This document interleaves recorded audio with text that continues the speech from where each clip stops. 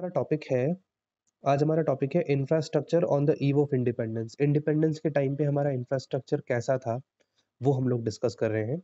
तो यहाँ लिखा है इंफ्रास्ट्रक्चर का मतलब दो एलिमेंट्स है, एक तो है इकोनॉमिक चेंजेस और एक है सोशल चेंजेस मतलब एक तो आपकी इकोनॉमी में क्या चेंज लाता है वो इंफ्रास्ट्रक्चर ऐसी कौन कौन सी चीज़ें जो आपकी इकोनॉमी में चेंज लाती है? तो इसने लिखा जैसे मीन्स ऑफ़ ट्रांसपोर्टेशन गुड्स को लाने, ले जाने के लिए जो ट्रांसपोर्टेशन चाहिए कम्युनिकेशन बैंकिंग और पावर एनर्जी बैंकिंग और पावर एनर्जी ठीक है? तो ये सारी चीज़ें हमारी इकोनॉमी में चेंज लाती है और कुछ एलिमेंट होते हैं जो सोशल चेंजेस होते हैं, जो सोसाइटी में चेंज लाता है, जैसे कि educational growth health care facilities में ग्रोथ हाउसिंग फैसिलिटीज़ ये आपकी सोसाइटी में चेंज लाता है, ये सामाजिक बदलाव लाते हैं, ये सारे इंफ्रास्ट्रक्चर ये हमारे किसी भी किसी भी कंट्री के ग्रोथ और डेवलपमेंट के फाउंडेशन होते हैं। जिस कंट्री में means of transportation communication banking power energy ये सब जो है, वो बहुत अच्छे से डेवलप हो रहे हैं। तो आप ये कहोगे कि इकोनॉमिकल वो वो कंट्री जो है, उसकी इकोनॉमी बहुत स्ट्रांग है, उसकी इकोनॉमी की ग्रोथ हो रही है। और जहाँ पे एजुकेशन अच्छा है हेल्थ और हाउसिंग फैसिलिटीज़ अच्छी है मतलब वहाँ पे सोशल चेंजेस हो रहे हैं, है ना? तो ये इस तरीके से इंफ्रास्ट्रक्चर को समझा जाता है। एक्सक्यूज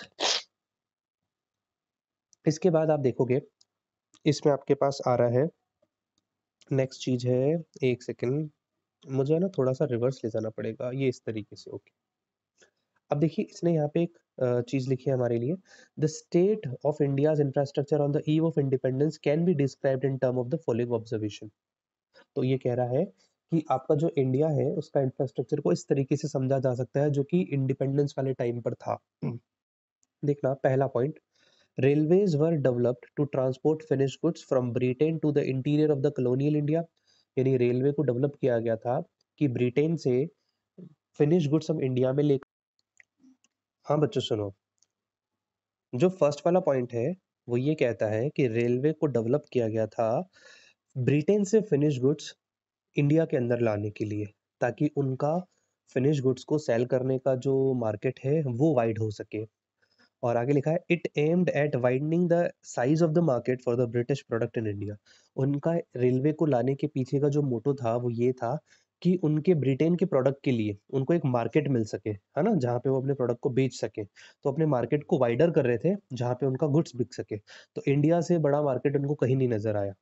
दूसरा point ports were developed to the handle export of raw material to British and import of finish goods from Britain इसने क्या बोला? आपने पोर्ट्स डेवलप किए। किस वजह से डेवलप किए? ताकि हम यहाँ से रॉ मटेरियल इंडिया से रॉ मटेरियल ब्रिटेन ले जाए और ब्रिटेन से फिनिश गुड्स इंडिया में लेकर के आपको पता है शिप सबसे सस्ता सोर्स होता है। जब आप शिप के थ्रू गुड्स एक कंट्री से दूसरी कंट्री में बेचते हो तो काफ़ी सस्ता पड़ता है बट बहुत टाइम कंज्यूमिंग होता है। और यही एयरक्राफ्ट के थ्रू बेचते हो तो वो काफ़ी महँगा होता है और लेस टाइम कंज्यूम करता है। सेम डे डिलीवरी भी हो जाती है, दो दिन में भी हो जाती है। तो ये कह रहा है कि भाई शिप्स के थ्रू इन्होंने पोर्ट्स डेवलप किए ताकि इंडिया से रॉ मटेरियल ब्रिटेन आसानी से ले जाया जा सके और ब्रिटेन से फिनिश गुड्स इंडिया में आसानी से लाया जा सके। फिर थर्ड पॉइंट है पोस्ट एंड टेलीग्राम टेलीग्राफ को डेवलप किया गया टू एनहांस एडमिनिस्ट्रेटिव एफिशिएंसी यानी एडमिनिस्ट्रेटिव आप किसी कंट्री को अगर कंट्रोल कर रहे हो तो आपके पास पोस्ट और टेलीग्राफ का जो फैसिलिटी होता है, ये आपके एडमिनिस्ट्रेटिव एफिशिएंसी को बढ़ाता है। मतलब बातचीत करने का जो ज़रिया, पहले फ़ोन तो हुआ करते नहीं थे, पहले टेलीग्राफ ही भेजा करते थे, पोस्ट ही भेजा करते थे, लेटर ही भेजा करते थे तो ये एडमिनिस्ट्रेटिव एफिशिएंसी को बढ़ाता है। फिर इन्होंने रोड्स को डेवलप किया to facilitate transport of raw material, transportation of raw material from different part of the country to the to the ports.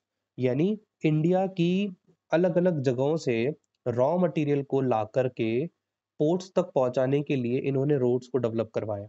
देखो, इन्होंने काफ़ी सारे डेवलपमेंट करवाए, लेकिन उनके पीछे वजह सिर्फ़ ब्रिटेन की गवर्नमेंट को बेनिफिट पहुंचाना था। इंडिया के लिए कुछ नहीं किया, समझे? फिर ये बोलता है briefly some modest infrastructure change in the economy during the British Raj is not done हाँ हम ये मानते हैं कि कुछ इन्होंने अच्छे इंफ्रास्ट्रक्चर डेवलप किए हैं लेकिन but the motive behind this change was not growth and development of Indian economy इसके पीछे जो उनका मोटिव था वो इंडिया की इकोनॉमी को डेवलप करना नहीं था। Rather it was the growth and development of the British colony British economy through colonial exploitation of the modern of the Indian economy यानी इंडिया की इकोनॉमी का शोषण करके वो चाहते थे कि ब्रिटेन की ब्रिटेन की इकोनॉमी जो है, उसकी ग्रोथ हो, डेवलपमेंट हो। ये इसलिए हालाँकि ये पॉज़िटिव कंट्रीब्यूशन है उनके, लेकिन इसके पीछे का जो मोटो है ना, वो इंडिया के इकोनॉमी के डेवलपमेंट के लिए नहीं है। आ गई बात समझ में? अब देखिए, एक क्वेश्चन बनता है ये रेलवेज़ को लेकर के कि इंडिया में रेलवेज़ का क्या इम्पैक्ट हुआ? तो हम दोनों चीज़ों में देखेंगे, इसके कुछ पॉज़िटिव पॉइंट्स भी पढ़ेंगे, नेगेटिव पॉइंट भी पढ़ेंगे। सबसे पहले railways facilitate commercialisation of agriculture. देखो, रेलवे के आने से जो फार्मर्स की जो क्रॉप्स थी, उसको वो बेचना स्टार्ट कर चुके थे, यानी कमर्शियलाइज़ेशन हो चुका था एग्रीकल्चर का, यानी एग्रीकल्चर प्रोडक्ट हम बाज़ार में बिकते थे। As goods could could then be move to distant places goods को एक जगह से दूसरी जगह पे हम रेलवे के थ्रू बेच सकते थे। आपको आज भी पता है, रेलवेज़ एक ऐसा सोर्स है जिसके थ्रू आप देखोगे कंट्री के हर कोने में गुड्स को पहुँचाया जाता है, सबसे सस्ता है ये भी, ठीक है? पहले आपको पता होगा आपने पढ़ा था पिछले अपन ने इंडस्ट्रियल सेक्टर की जब बात कर रहे थे एग्रीकल्चर सेक्टर की बात कर रहे थे, तो जो ब्रिटिश गवर्नमेंट थी उसने क्या किया कि इंडिया के फार्मर्स को कहा कि आप जो पहले सब्सिस्टेंस फ़ार्मिंग करते हैं वो छोड़ करके अब आप क्या करो? कैश क्रॉप्स ग्रो करना स्टार्ट करो जैसे इंडिगो हुआ जिसको आप बेच सकते हो बाज़ार में ठीक है? तो इस तरीके से उन्होंने बोला था। तो ये वाली चीज़ इसने लिखा है कि रेलवेज को कमर्शियल रेलवेज के आने से एग्रीकल्चर का कमर्शियलाइजेशन स्टार्ट हुआ क्योंकि गुड्स एक जगह से दूसरी जगह तक आप मूव कर सकते थे this implied a modest change in the outlook of the farmers इससे जो फार्मर्स का आउटलुक है वो बदला। वो पहले सोचा करते थे कि भाई हम खेती-बाड़ी केवल अपने परिवार को चलाने के लिए करते। लेकिन जब उन्हें दिखा कि आप इसको बेच करके पैसा भी कमा सकते हो, तो उनका ये वाला माइंडसेट हो गया। They start viewing farming as a business अब उन्होंने फ़ार्मिंग को एक बिज़नेस की तरह ट्रीट करने लगे। Rather than merely as a source of subsistence जिसको केवल वो पहले अपने घर को चलाने के लिए फ़ार्मिंग किया करते थे, अब उसको एज़ अ बिज़नेस वो देखने लगे। तो ये सबसे बड़ा चेंज हुआ। अब इसके पॉज़िटिव इम्पैक्ट क्या थे रेलवेज़ के इंडिया में आने से?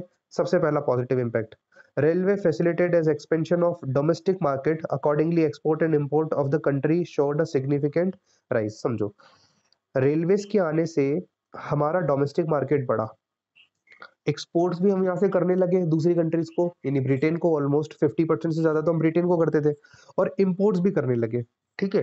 तो इससे एक सिग्निफिकेंट राइज़ हुआ हमारे मार्केट में, हमारा मार्केट थोड़ा बड़ा हुआ, पहला पॉइंट। दूसरा पॉइंट है railways facilitate commercialisation of agriculture ये पूरा ऊपर वाला पॉइंट है। मैं एक बार पढ़ देता हूँ आप लोगों के लिए। तो railway promote railway facilitated commercialization of agriculture as goods could then be move to distant places. Railway ने कमर्शियल एग्रीकल्चर की कमर्शियलाइज़ेशन को स्टार्ट करवाया, क्योंकि गुड्स एक जगह से दूसरी जगह तक हम लोग इजीली मूव कर सकते थे। This implied a modest change in the outlook of farmer and they start viewing same to same same same to same line लिखी हुई है वाला कि फार्मर्स का आउटलुक बदला, फार्मर्स पहले उसको केवल अपने घर को चलाने के लिए फ़ार्मिंग करते थे, सबसिस्टेंस फ़ार्मिंग करते थे। उनका आउटलुक बदल करके उन्होंने फ़ार्मिंग को एज़ अ बिज़नेस ट्रीट करने लगे। तो ये रेलवे के आने से हुआ, करेक्ट बात है। इसके बाद जो थर्ड पॉइंट है वो है railway enable people to break the barriers of distance and undertake journey to far far off places railway ने आकर के लोगों के बीच के जो डिस्टेंस जो उसको कम कर दिया। क्योंकि लोग एक जगह से दूसरी जगह पे अपने रिलेटिव से आसानी से मिल सकते थे इससे। This promoted culture affinity among the countryman इसने जो कंट्री है, उसमें एक ऐसा स्पिरिट लेकर के आया कि हम हर कल्चर को देखने लगे। ठीक है? Fourth point faster movement of food grain across different parts of the country अपनी कंट्री के अलग-अलग पार्ट्स में बहुत तेज़ी से मूव होने लगा फ़ूड ग्रेन क्योंकि रेलवेज़ की वजह से और इससे जहाँ पे फेमाइंस आया हुआ था, भूखमरी आई हुई थी, उस जगह पे जो है वो बहुत तेज़ी से फ़ूड पहुँचाया गया। Food supply could reach the people before they were driven to starvation यानी लोगों तक हम पहले ही फ़ूड ग्रेन पहुँचा सकते थे। हम उनके मतलब वहाँ पे अकाल पड़ने की वेट नहीं कर रहे थे। समझे? भूखमरी का वेट नहीं कर रहे थे कि लोगों के पास खाने को कम पड़े फिर हम पहुँचाएँ। अब हमारे पास रेलवे आ चुका था कि हम उनको उस जगह पे पहुँचा सकते थे ईज़िली। ये तो बात हुई इसके पॉज़िटिव इम्पैक्ट की। अब बात करते हैं नेगेटिव इम्पैक्ट क्या थे। सबसे पहला रेलवे ने contribute railway contributed to colonial exploitation of Indian economy. Railway के आने से हमारे इंडिया की इकोनॉमी का एक्सप्लोटेशन हुआ, क्योंकि हम यहाँ से because primary goods that is raw material could then be easily transported from the field uh, and the farms uh, to the ports of the purpose of to export the हमारे यहाँ से हमारे farm से primary product जो है वो primary goods easily export किया कर सकते थे। यानी हमारे यहाँ से जो फार्म के प्रोडक्ट थे या जो भी क्रॉप्स थी वो इंडिया से ब्रिटेन में एक्सपोर्ट कर सकते थे इन रेलवेज के थ्रू रेलवे उनको पोर्ट तक पहुँचाने का काम करता था। ठीक है? And finished goods coming as an import to the Indian economy could be easily be transported to the interiors of the country for the purpose of sale और finished goods जो ब्रिटेन ने बनाए थे वो हमारी इंडिया में आसानी से लाए जा सकते थे ठीक है thus the spread of railway led to spread of the domestic market for the British product इस प्रकार से जो रेलवे था उसने डोमेस्टिक मार्केट को क्या किया मतलब ब्रिटिश प्रोडक्ट को डोमेस्टिक मार्केट में रेलवे ने फैलाया ठीक है तो ये हमारे यहाँ पे नेगेटिव इम्पैक्ट हुआ पहले आपको इतना समझ आता है क्या? ये वाली चीज़ अगर क्लियर होती है तो हम लोग आगे चले। देखिए, इसके बाद ये इम्पैक्ट है ना? ये इम्पैक्ट है करेक्ट है, ठीक है। इसके बाद हम लोग चलते हैं छोटा सा पॉइंट बचा है। Was there any positive impact of the British rule India ये क्वेश्चन भी पूछा जाता है भाई, कि क्या पॉजिटिव इम्पैक्ट रहा क्या ब्रिटिश का ब्रिटिशर्स का इंडिया में? तो इसका आंसर लिखने का तरीका देखना। पहले लिखते हैं certainly not if the impact of the British rule is studied with reference to motive to the British government in India, अगर हम ब्रिटिश गवर्नमेंट के मोटिव के अकॉर्डिंग बात करें तो ब्रिटिशर्स ने किसी तरीके का कोई पॉजिटिव इम्पैक्ट नहीं डाला बिकॉज़ मोटिव हमेशा उनका ब्रिटेन की इकोनॉमी को डेवलप करने का होता था। तो इस हिसाब से तो उन्होंने कोई पॉजिटिव इम्पैक्ट नहीं दिया बट सुनना ध्यान से। However the means to achieve the and yielding some positive side effect. यानी ये कह रहा है कि अगर हम लोग बात करें कुछ रिटर्न की कुछ चीज़ें नहीं लाने की तो हाँ वो कुछ चीज़ें हमारे लिए लेकर के आए उस वो कुछ पॉजिटिव इम्पैक्ट रहा। ठीक है? तो जरा देखिए क्या है पॉजिटिव इम्पैक्ट पहला point commercial outlook of the farmers farmers का कमर्शियल आउटलुक बन गया। Forced commercialization of agriculture under the British rule exposed the subsistence farmers to uncertainties to the market. समझो। हम उन्होंने फार्मर्स को फोर्स किया कि वो कमर्शलाइजेशन करें अपनी एग्रीकल्चर का। मतलब ऐसी क्रॉप्स ग्रो करें जिससे कि वो ब्रिटेन में बेच सके, जैसे कि इंडिगो ठीक है? तो इंडिगो जब वो यहाँ से भेजेंगे तो इससे अब फार्मर्स का, जब कभी पता है आपको, हमेशा फ़सल अच्छी नहीं होती। जब आपने फ़सल बोई, उसके बाद हो सकता है काटते टाइम बहुत ज़्यादा बारिश हो गई या अकाल पड़ गया, बारिश ही नहीं हुई तो फ़सल खराब भी हो जाती है। तो उस टाइम में इतनी फ़सल भी नहीं बचती थी फार्मर्स के पास कि वो अपने घर के लिए सेल्फ कंजम्पशन के लिए उसको स्टोर करके रख सके या उसको यूज़ में ले तो उनके इस आउटलुक को ब्रिटिश गवर्नमेंट ने चेंज किया, ठीक है? क्योंकि उन्होंने क्या कहा कि भैया आप हमारा, आपका प्रोडक्ट हमें बेचो, ठीक है? बेच दो। पैसा तो खराब नहीं होगा, पैसा तो पड़ा रहेगा। जब कभी आपकी फ़सल अच्छी नहीं हुई तो आप पैसे से खरीद सकते हो बाज़ार से, ठीक है? आगे। True but it also led to a gradual change in outlook of the farmers इससे फार्मर्स के आउटलुक में भी चेंज आया। The farmers started considering market price of the product as an important determination of their production decision अब हुआ क्या? Farmers जो थे, वो अपना डिसीज़न ये लेते थे कि मैं मेरी फ़ील्ड में कौन सी क्रॉप ग्रो करूँ? तो बेटा वो देखते थे प्राइजेस कि बाज़ार में प्राइस किसका ज़्यादा है? हम उसी को ग्रो करेंगे मतलब उसी को हमारे, उसकी खेती बाड़ी करेंगे। तो ये वाला आउटलुक जो है वो फार्मर्स का ब्रिटिशर्स लेकर के आए। ठीक है? एक पॉइंट दूसरा point new opportunities of employment new opportunities of employment में क्या है? Spread of railways and roadways open up new opportunities of economic and social growth railway के आने से रोडवे के आने से कई तरीके की नई अपॉर्चुनिटी हमारी इकोनॉमी और सोशल ग्रोथ मतलब हमारा इकोनॉमिक ग्रोथ भी हुआ और सोशल ग्रोथ भी हुआ। आपने देखा कि रेलवेज के आने से लोगों का डिस्टेंस कम हो गया। अभी हमने पीछे पॉजिटिव इम्पैक्ट पड़े थे ना, वो सारे इसके पॉइंट आ जाएँगे। रोड्स के आने से भी हम आसानी से एक जगह से दूसरी जगह पे जा सकते हैं। अपने स्टेट्स के अंदर ही, अपनी कंट्री के अंदर ही गुड्स को मूव कर सकते हैं इजीली तो ये सारी अच्छी अच्छी अपॉर्चुनिटीज़ क्रिएट हुई एम्प्लॉयमेंट की। यानी यहाँ पे लोगों को काफ़ी सारा रोज़गार मिला। रोड बनवाएँगे तब भी वहाँ पे लोग चाहिए और रेलवेज में भी लोग चाहिए। तो अच्छी एम्प्लॉयमेंट ऑफ़ अपॉर्चुनिटीज़ यहाँ पे क्रिएट हुई। ठीक है, इसके बाद हमारे पास आता है कंट्रोल ऑफ़ फेमाइंस ठीक है फेमाइंस को कैसे कंट्रोल किया?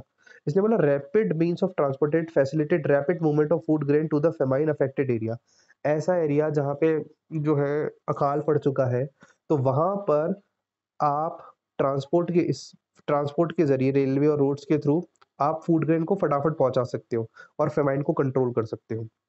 ठीक है फिर है monetary system of exchange Britishers यहाँ पे रुपी इन्वेंट उन्होंने ही किया।